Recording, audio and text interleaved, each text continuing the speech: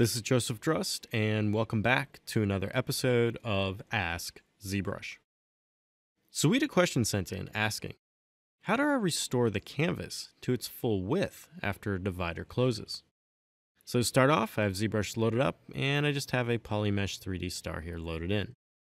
Now the question is asking about the canvas size and closing the dividers.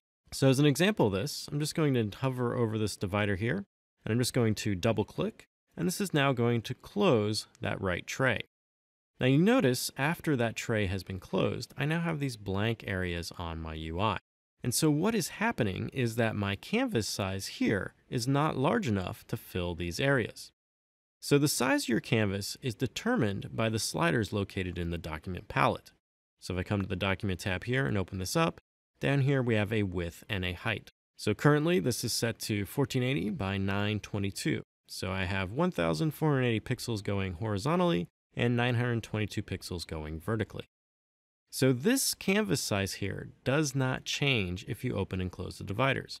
So if I double click these again and open them up, and then go to the document tab, you can see that the width and the height has stayed constant. So closing and opening the dividers is not going to change that canvas size.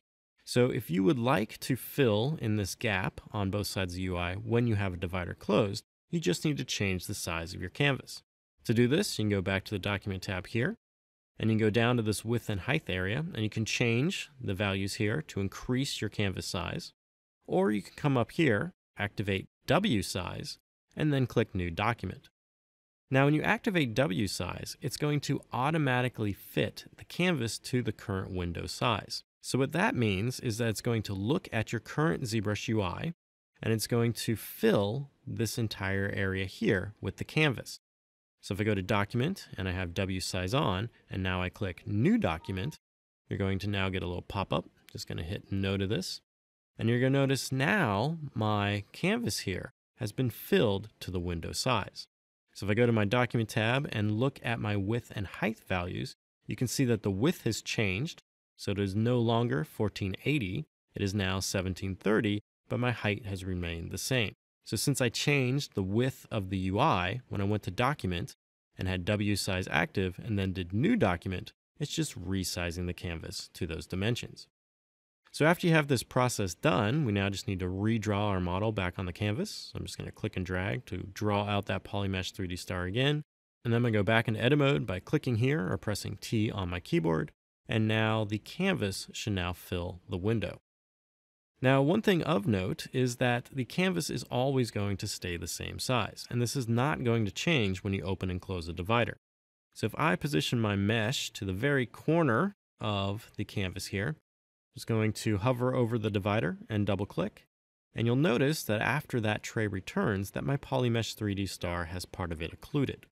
And this is because the canvas size, once again, has not changed. So it's still at that 1730 width, but my window here isn't that large, so part of the canvas is being occluded by the UI.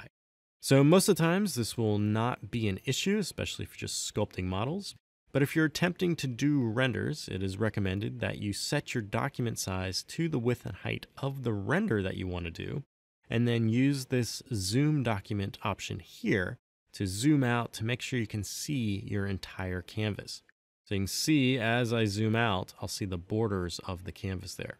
And this will just allow you to fully see your scene before you come up here and do a document export. So once again, the canvas size is controlled by these sliders here and not controlled by the UI. So the canvas is never going to change its size unless you go to the document panel and modify these values here. If you have any other questions related to ZBrush pipelines or processes, please use the hashtag AskZBrush on Twitter. Happy ZBrushing!